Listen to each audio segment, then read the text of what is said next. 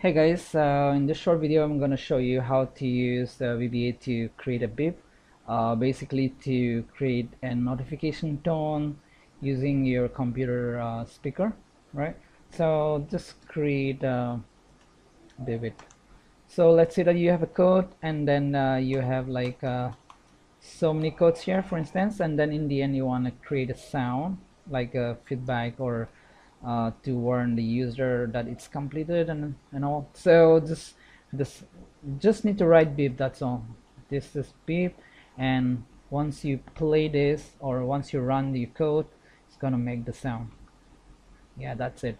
So you know sometimes this can be useful to notify the um, the users that you know certain thing is complete or it's uh, needs an attention so that's all for for now in this video. Thank you so much for watching. Bye bye